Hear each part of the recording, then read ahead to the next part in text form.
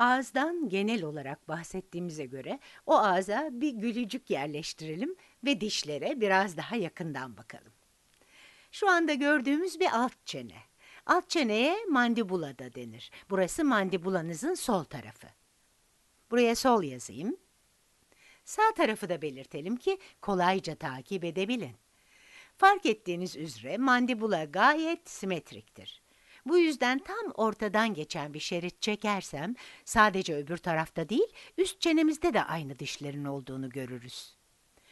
Bu arada üst çenemizin öbür adı da maksilladır. Yani bu gördüğünüz dişin aynısından şurada da vardır ve aynı şekilde bu iki dişinizin aynısından üst çenenizde de vardır. Bunları aklınızda tutun çünkü en sonda saymaya başladığımızda işinize yarayacak. Her tür dişin kendine özel bir işlevi vardır.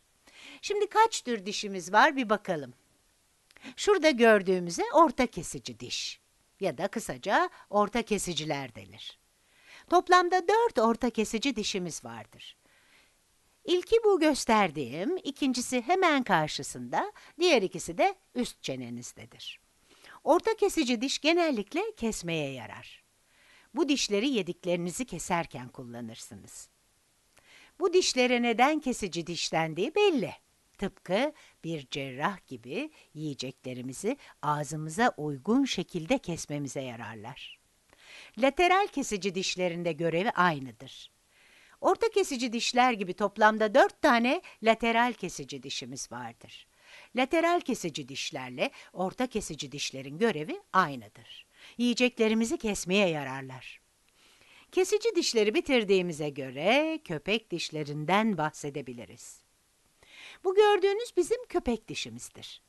Bunlardan da dört tane vardır. Köpek dişlerinin isminin nereden geldiğini ileride size başka bir fotoğrafla göstereceğim. Ağzımızdaki en uzun, en keskin dişlerdir bunlar ve yiyeceklerin dişlerimizin arasından kaymasını engellerler. Bir restorana gittiğinizi ve ilk olarak ekmek verdiklerini düşünün. Ekmeği ısırdıktan sonra kolaylıkla koparırsınız çünkü dört köpek dişinizde ekmeğe saplanmıştır ve elinizle çektiğinizde ekmeğin ağzınızdan kaymasını engellerler. Bu yüzden buraya çekmekte yazıyorum ki köpek dişlerimizi ne için kullandığımızı daha kolay hatırlayabilelim. Köpek dişlerimizden bahsetmeyi bitirdiğimize göre artık küçük azı dişlerimizden yani premolarlardan konuşabiliriz. Küçük azı dişlerimizden her iki yanda da iki tane bulunur. Yani toplamda sekiz ederler. Toplamda sekiz tane olan bu dişlerle ilgili iki şeyi aklımızda tutmamız gerekir. Premolar kelimesindeki mola Latinceden gelir ve değirmen taşı demektir.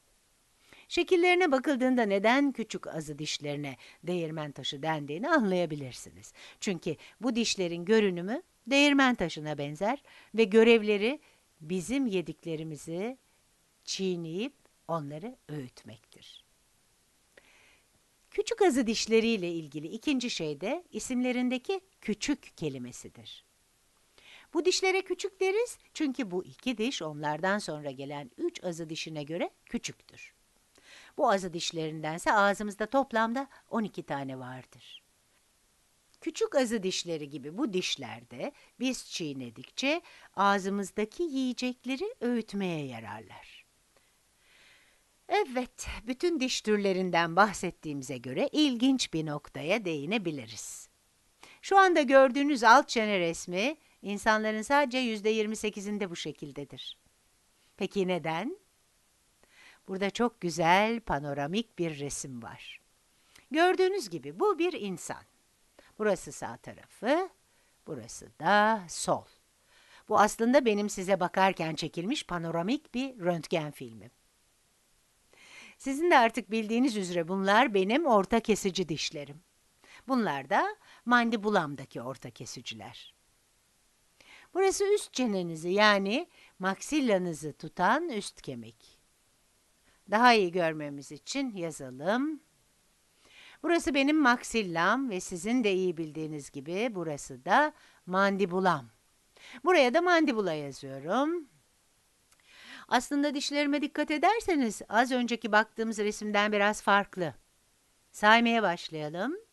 Bunlar orta kesicilerim, bunlar lateral kesiciler, köpek dişim, iki küçük azı dişim, ikinci küçük azı dişim, ilk azı dişim ve ikinci azı dişim. Burada bir şey eksik. Sadece burada da değil. Bu tarafta da, bu tarafta da ve bu tarafta da eksik. Evet, sanıyorum fark ettiniz. Üçüncü azı dişlerimin hiçbiri yerinde yok. Peki neden yerlerinde yoklar? Çünkü onlar benim 20 yaş dişlerimdi. Üçüncü azı dişinize 20 yaş dişi denir ve genelde insanlar bu dişleri çektirirler. Aslına bakarsanız insanların %72'si bu dişleri çektirir. Bunun sebebi aslında çok basittir. Diş etimi inceleyebilmeniz için diş etimin etrafını çizeceğim şimdi. Evet.